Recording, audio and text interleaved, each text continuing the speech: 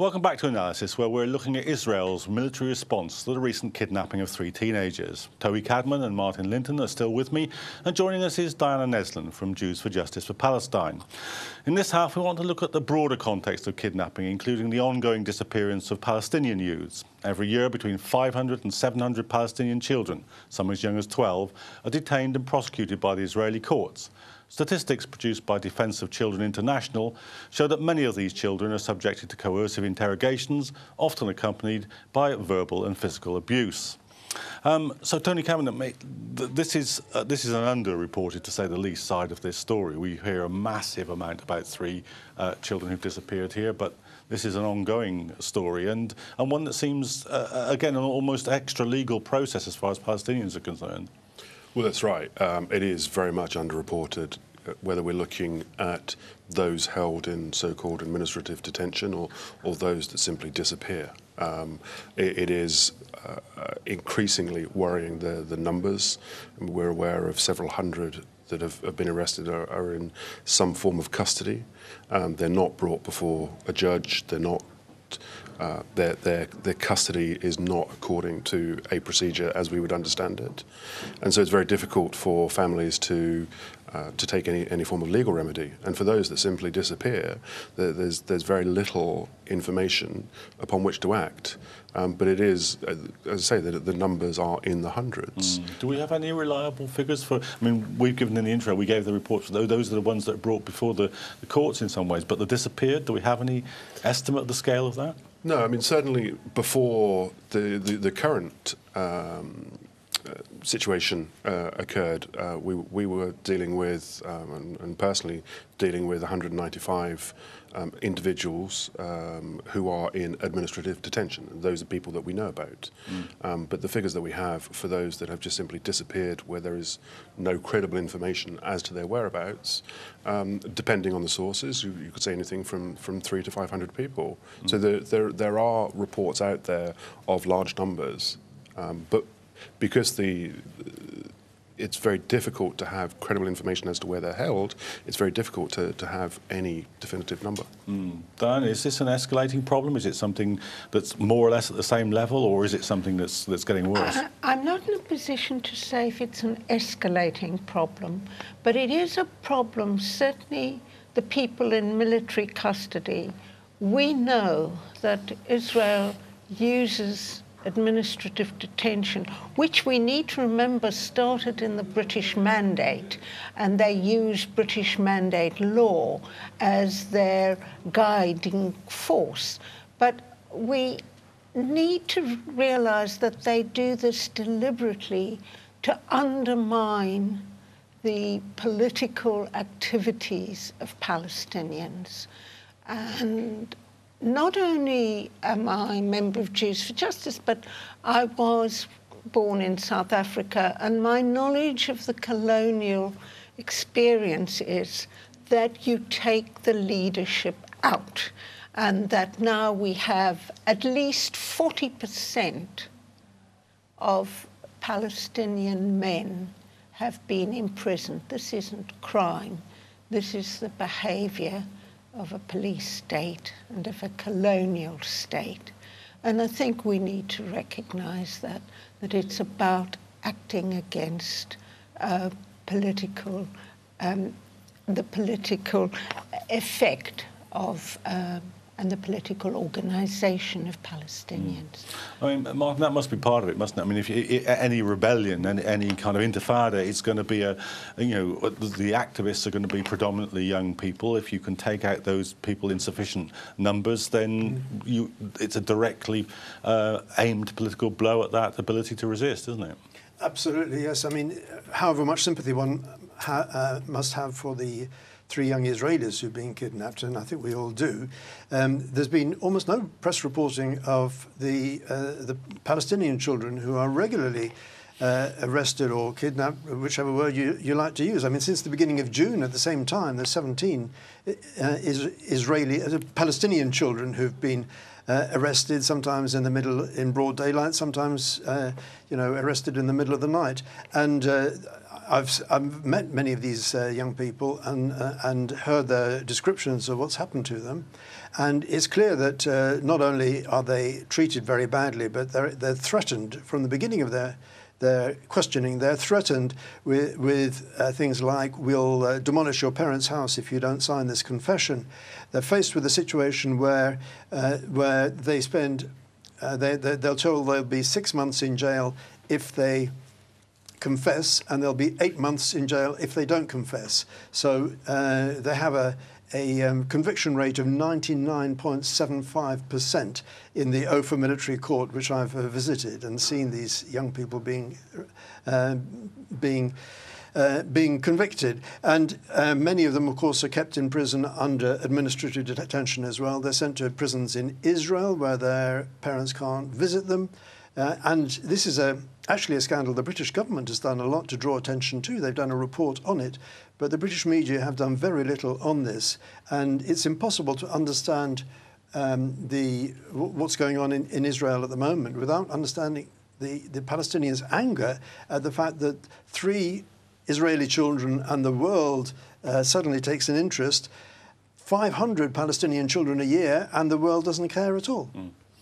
I mean, Toby, there's there's a dislocation here, isn't it? Because you know, if, you, if you think about, uh, you know, as Diana said, if we think about the apartheid state in, in, in South Africa or, or Pinochet, Chile, Chile, nobody expects sort of rule of law here. They're acknowledged tyrannical states, but the but the Israelis you know, play on being uh, a democracy, play on being a state where the rule of law exists. So there's a there's an argument that has to be won, which there isn't in some other cases, isn't there? Well, there is, and it is, it is a play. I mean, you, have only got to listen to some of the statements about this adherence to, to the rule of law, that they're, they're, they're dealing with this to, to ensure the safety of their citizens. Um, and of course, uh, much of this rhetoric is, is, is just nonsense. Um, the rule of law is not being applied. These individuals are not being brought before courts where their custody can be uh, properly challenged.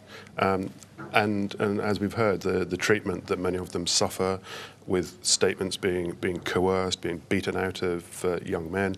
Um, you, you, know, you, you can't have a functional state with, with such treatment. And it is almost as though we're, we're too afraid to ask those questions whenever the, the, the situation concerns Israel. Um, and we need to break away from, from that fear. There needs to be uh, proper inquiries in, into this conduct because it is widespread and systematic. Um, these are largely crimes against humanity that are being committed, and we shouldn't be afraid and we shouldn't shy away from that. Um, it, is, it is becoming, uh, I think it is becoming increasingly worse. Um, I'm working on a, a, couple of cases myself where young boys are being um, arrested for throwing rocks at vehicles, and there is a particular uh, offence under Israeli law for that, but they're being tried in military courts uh, without due process protection, where they risk significant sentences, um, and they are being their statements are being beaten out of them uh, with very little uh, credible evidence apart from that. So we've got to start to uh, challenge this. We've got to ensure that this is given the right level of international attention because if it was anywhere else in the world, we would be up in arms. Because mm. I mean, the, the, use of military courts in under the Mubarak dictatorship in Egypt was a, a, a, central concern of the 25th of January revolution, wasn't it? Certainly, yeah. And, and when, when we look at that in other countries, the, the, the use of military courts is, is, is something that, that we are quite willing to, to speak out about. Uh, if you look at uh, from from my own uh, experience of working in uh, post-conflict Bosnia, where large numbers of people were put on trial in military courts, um, we were up in arms about that. Um, that process was stopped. Civilian courts were established, and, and people who had committed crimes were put on trial in in properly regulated civilian courts. That's how a democracy functions. Mm. Uh, you cannot have a democracy without the rule of law. Mm. Diana, I mean, uh, uh, you have a background, as you were saying, in, in, in South Africa. Now, there's been um, uh, some criticism of the uh, of the BDS movement and other Palestinian activists for using the term apartheid about uh, about Israel. It's become increasingly one which is used, especially since the separation wall, the so-called apartheid wall, was was erected. Do, do, you think it's a do you think it's a useful and sensible term to use? Um, apartheid in South Africa was different. But if we look at the UN definition of apartheid, um, uh, which, which effectively suggests that people are treated differently and unequally because of something over which they have no control, namely their nationality in this case, then Israel does fit, as I would see it, an apartheid uh, definition. I tend to use the word privilege, Jewish privilege, and I feel I can use it. Unfortunately, that is a problem. Jewish people sometimes have a right to say things, those of us who are dissidents, which other people don't have. Um, so, on the whole, I would say that uh, there is not a problem in my mind of using the word apartheid, although on, personally I don't use it. There's one thing I must say here that I wanted to add about military courts. Mm. There is only one country in the world which uses military courts for children, and that is Israel. Mm. It's the only country. And this is something when Israel tries to pretend how wonderful it is and what a marvelous state it is, this is something it needs to mm. hold and to be condemned for. Mm. I mean, uh, Martin, the, the, the apartheid tag has has stuck, uh, has become, I think, you could say it it's not it's not uncontroversial, but it has become more widely widely accepted. Do you think it's a, it's a it's a, a, graphic and therefore an effective way of bringing home to people what the nature of the Israeli state is?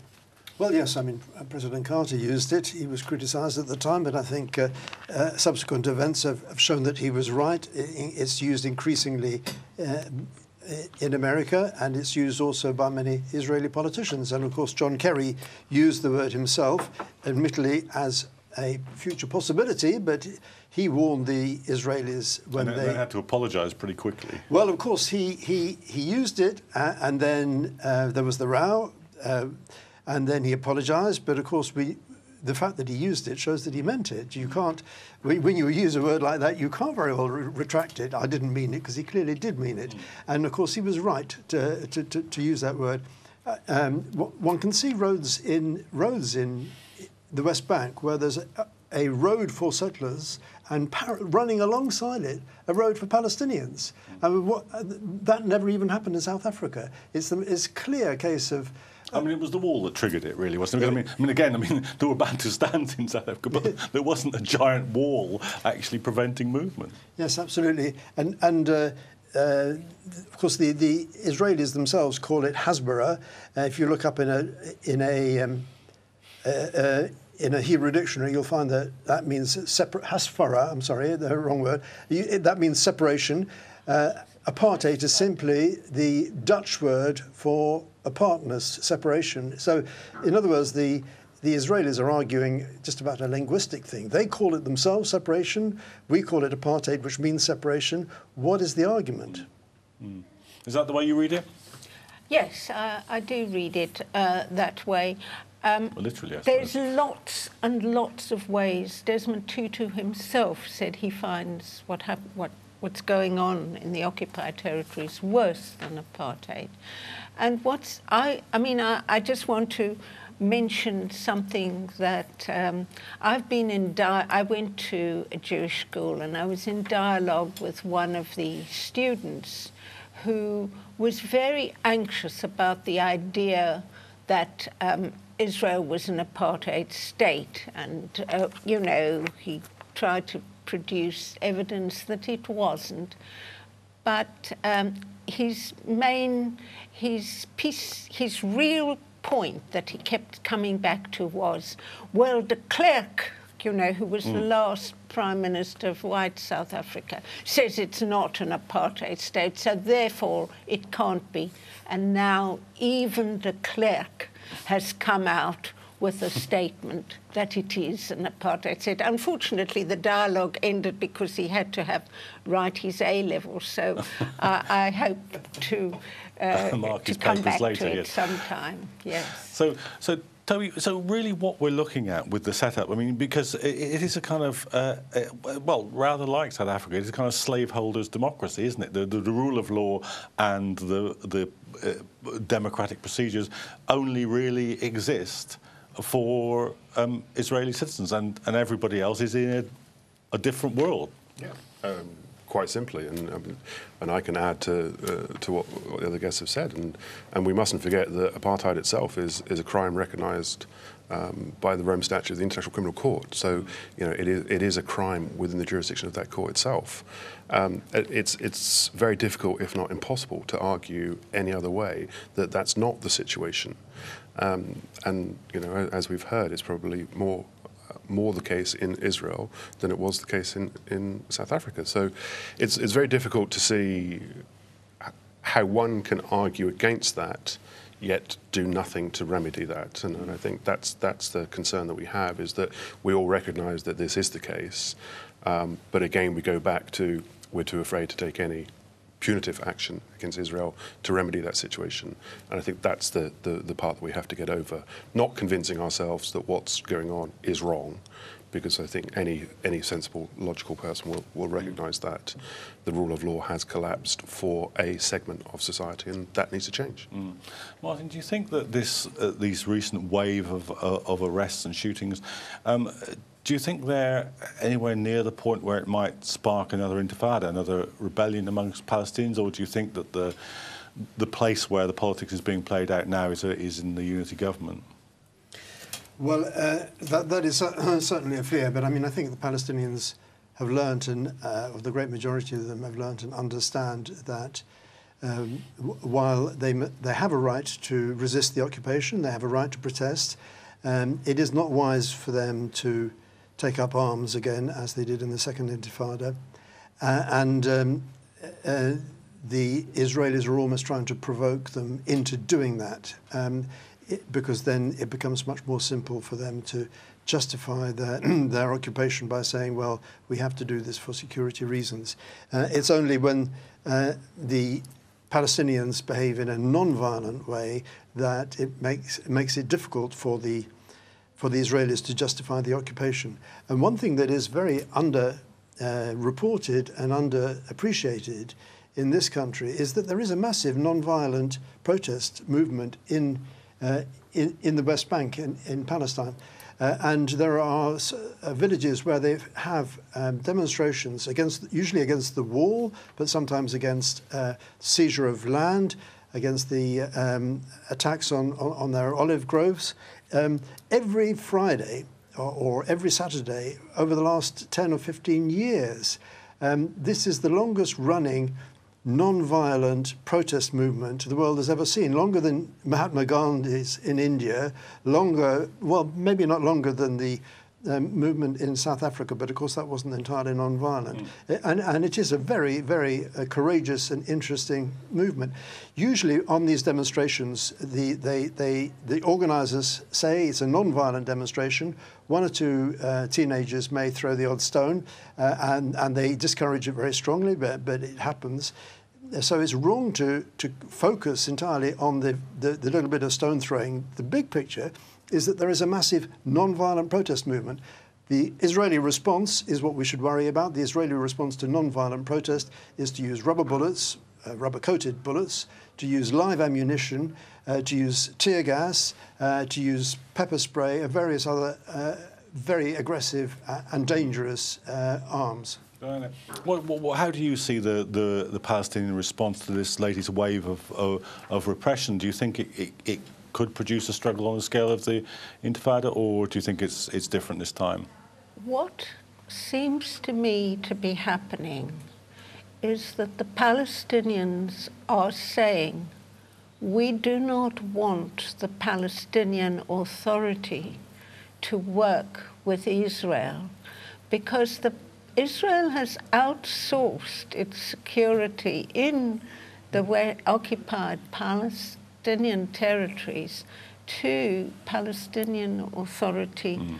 um, uh, soldiers. And what came through very strongly was that the Israeli army went into all the Area A and the Palestinian Authority soldiers stayed stayed back and allowed them free rein.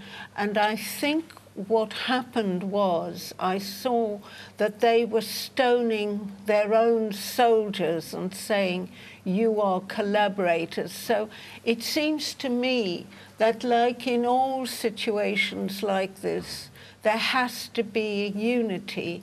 And I'm not sure whether it is the, the, the position of the Palestinian Authority, I think, is now becoming increasingly unacceptable to the people. Okay, well, I'm afraid that uh, on that very serious question, we're going to have to leave this week's day, this, day's discussion because uh, that uh, brings us to the end of this edition of Analysis. I'd like to thank my guests for an insightful and informed discussion, and uh, I hope that you've enjoyed it at home and that you'll uh, make sure that you tune into future editions of Analysis. You can follow us, of course, on Twitter, the address is below on the screen, or on Facebook at the Islam Channel Current Affairs page. But until next time, good night.